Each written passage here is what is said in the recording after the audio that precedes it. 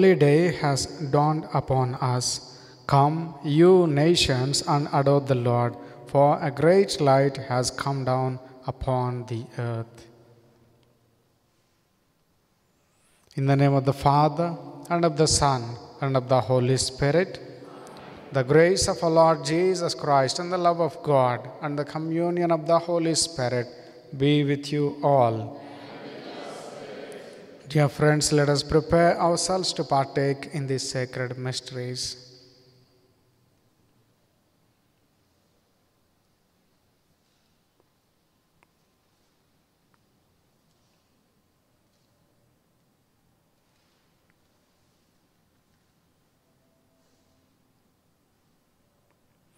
I confess to Almighty God and to you, my brothers and sisters, that I have greatly sinned in my thoughts, in my words, in what I have done, and in what I have failed to do.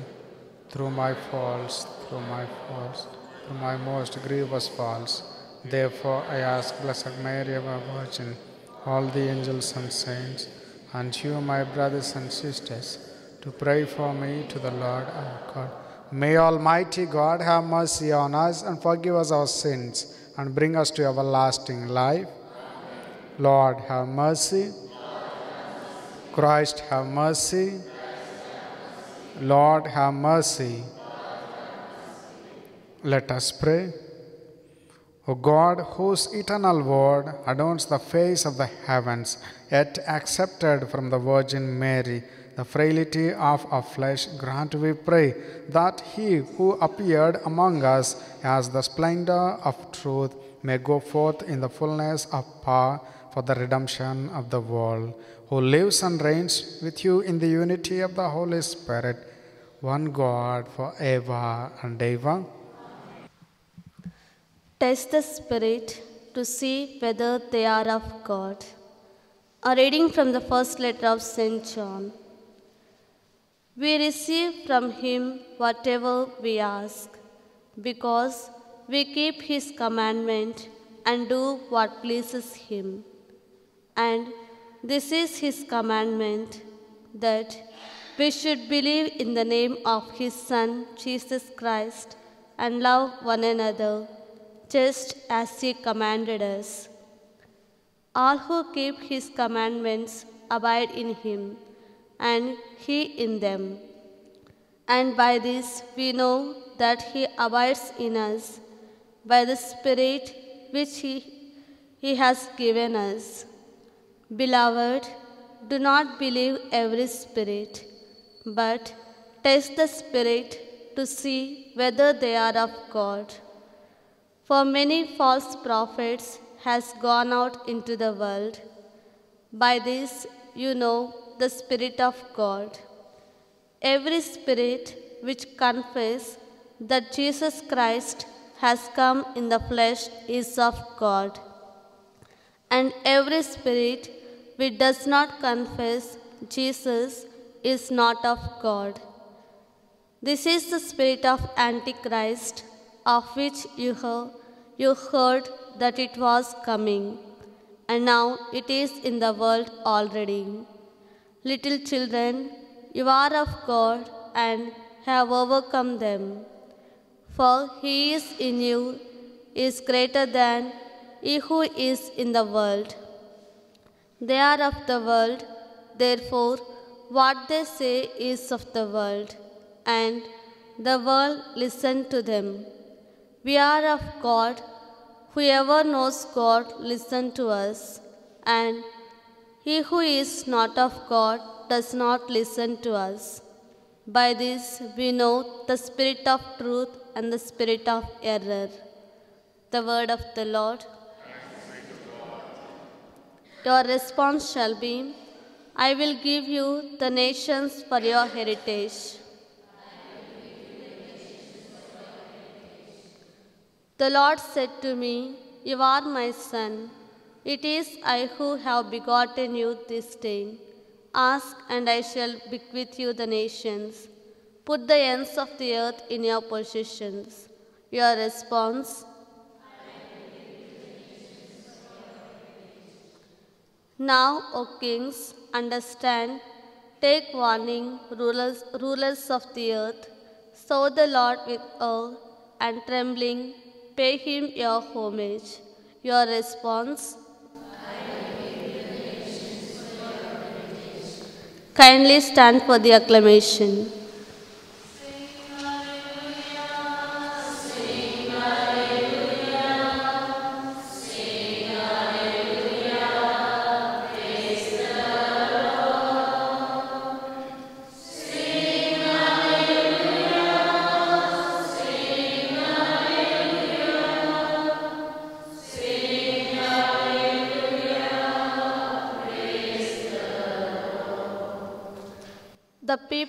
Who sat in darkness have seen a great light, and for those who sat in the region and shadow of death, light has dawned.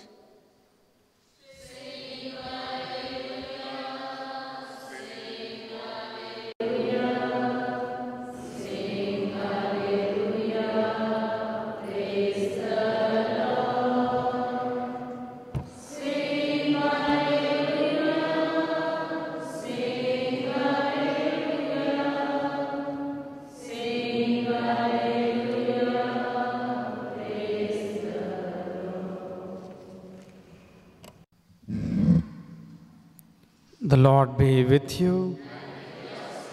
A reading from the Holy Gospel according to St. Matthew. Chapter 4, verses 12 to 17, followed by 23 to 25. When Jesus heard that John had been arrested, he withdrew into Galilee, and leaving Nazareth, he went and dwelt in Capernaum by the sea in the territory of Zebulun and Naphtali, that what was spoken by the prophet Isaiah might be fulfilled. The land of Zebulun and the land of Naphtali toward the sea across the Jordan, Galilee of the Gentiles. The people who sat in darkness have seen a great light. And for those who sat in the region and shadow of death, light has dawned. From the time Jesus began to preach, saying, Repent, for the kingdom of heaven is at hand. And he went about all Galilee, teaching in their synagogues and preaching the gospel of the kingdom of and healing every disease and every infirmity among the people. So his fame spread throughout all Syria, and they brought him all the sick, those afflicted with various diseases and pains, demoniacs, epileptics, and paralytics, and he healed them. And great crowds followed him from Galilee and Decapolis and Jerusalem and Judea and from beyond the Jordan. The Gospel of the Lord.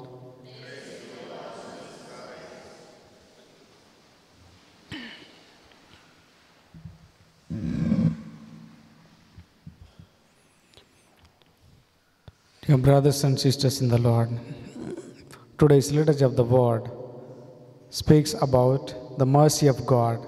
The mercy of God is greater than the sin what we commit because God loves the world. God loves each and every one of us and He invites us to repent, to return, and to restore all His graces and all His sonship, what He has given us in baptism. Even we see from the salvation history, He sent His prophets, He sent His servants. Even in today's gospel reading, we see even He sent John the Baptist and Jesus Christ. John the Baptist came into this world to prepare the way for the coming of the Savior, and he preached about the repentance. After finishing his ministry, again Jesus enters into this salvation of the humanity. He also repeats and invites the people in the same way repent, the kingdom of heaven is at hand. He gives them healing, the spiritual healing and the physical healing. Dear friends, this spiritual healing and the physical healing can be possible only when we believe in the Lord, when we have faith in the Lord, and when we keep all His commandments. These miracles and these uh, healings and all the restoration of the grace of God can be possible. When we are strayed by the wrong teachings, then we will lose the graces, we will lose the intimacy, and we will lose even the mercy of God. In the first reading, we see Saint John tells us that do not be misled by the wrong teachings because the wrong teachings will lead us to destruction convincingly that we may not be aware that we are doing something wrong we are believing something wrong we are walking in the wrong path which leads to sin death and punishment. Dear friends yeah the people those who are living in darkness we saw in the gospel reading these words are foretold by prophet Isaiah, chapter 9, verse 2. The people, those who are living in darkness, they saw a great light. When Jesus came into this world as the light, he has removed all the darkness from their lives. Whatever is possessed by the darkness, by sin, by Satan, everything he removed from them. Dear friends, when we are coming into the reachable area of the Lord, we will see and we will experience the light of the Lord. Because where there is His light, there is healing, there is deliverance, there is forgiveness, and there is restoration. When we go away by our worldly passions and worldly interests, we go into darkness. Let us offer ourselves along with this bread and wine, that may the Lord give us His light to make right discernment and live in the perfect and eternal light of the Lord and bear witness to His light in our lives. For that, let us pray at this time of offertory.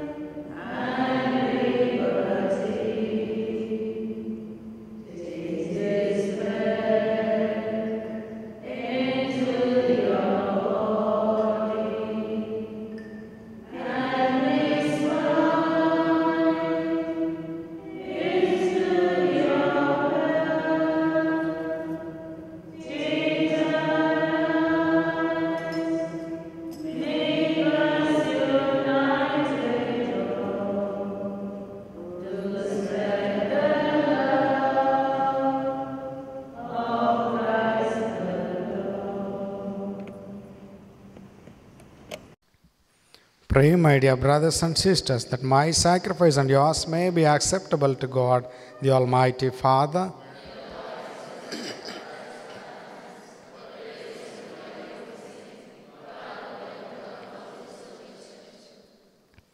Receive our oblation, O Lord, by which is brought about a glorious exchange, that by offering what you have given, we may merit to receive your very self.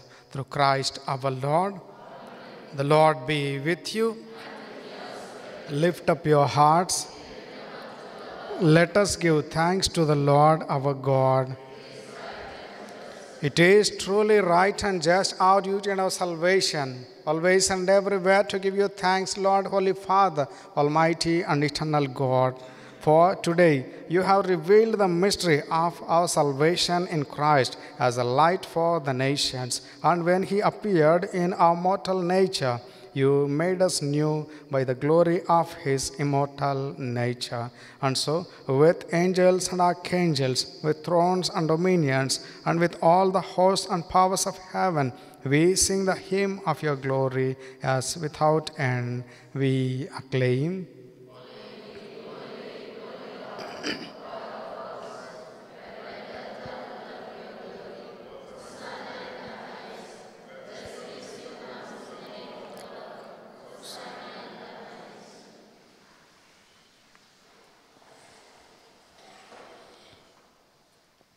You are indeed holy, O Lord, the fount of all holiness. Make holy, therefore, these gifts, we pray, by sending down your Spirit upon them like the dew fall, so that they may become for us the body and blood of our Lord Jesus Christ. At the time he was betrayed and entered willingly into his passion, he took bread and giving thanks, broke it and gave to his disciples, saying, Take this, all of you, and eat of it, for this is my body, which will be given up for you.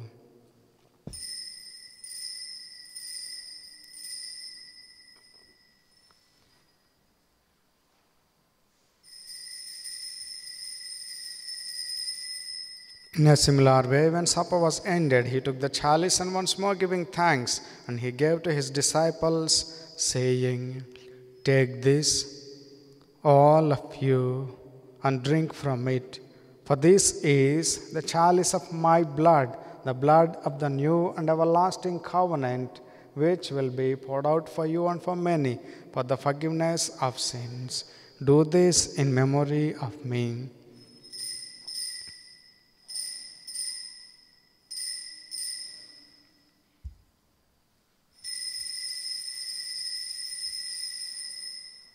The mystery of faith.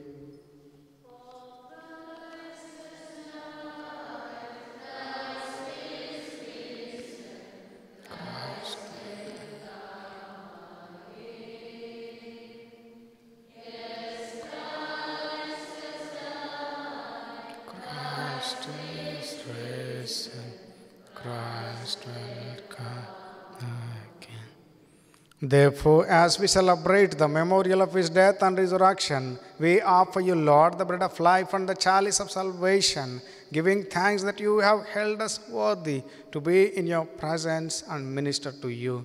Humbly we pray that partaking of the body and blood of Christ, we may be gathered into one by the Holy Spirit. Remember, Lord, your church spread throughout the world and bring her to the fullness of charity, together with Francis, our Pope, and Bala, our Bishop, and all the clergy. Remember also our brothers and sisters who have fallen asleep in the hope of the resurrection, and all who have died in your mercy. And the souls offered in this Mass, and the souls departed. Welcome them into the light of your face. Have mercy on us all, we pray, that with the Blessed Virgin Mary, Mother of God, and Saint Joseph, her spouse, and with the blessed apostles and all the saints who have pleased you throughout the ages, we may merit to be co heirs to eternal life, and may praise and glorify you through your Son, Jesus Christ.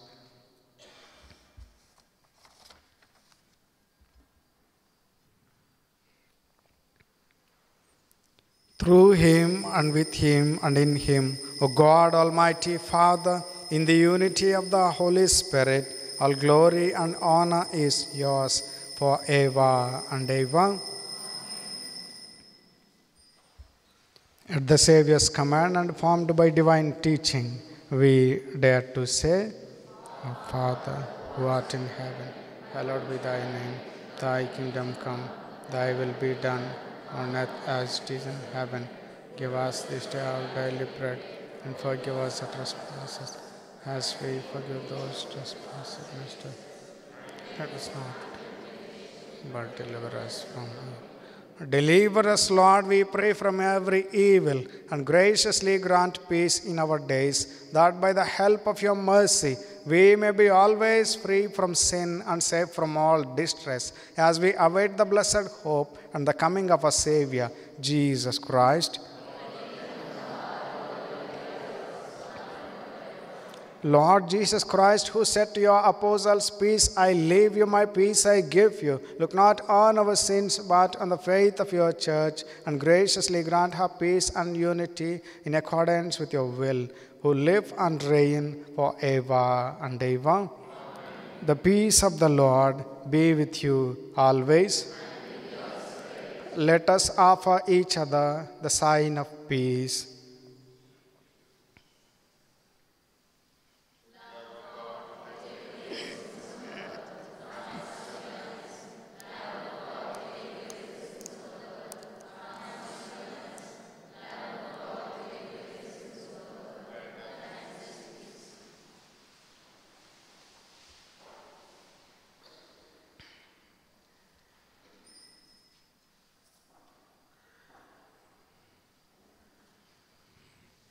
Behold the Lamb of God. Behold him who takes away the sins of the world. Blessed are those who are called to this supper of the Lamb. Not worthy that you should enter under my roof, but only you say the word, and my soul shall be healed.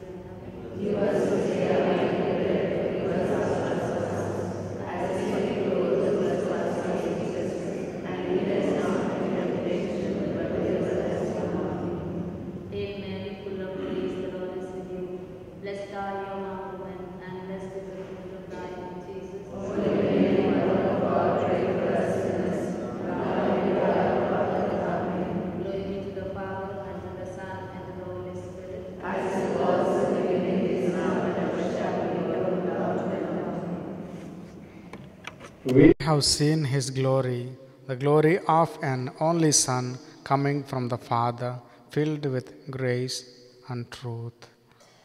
Let us pray.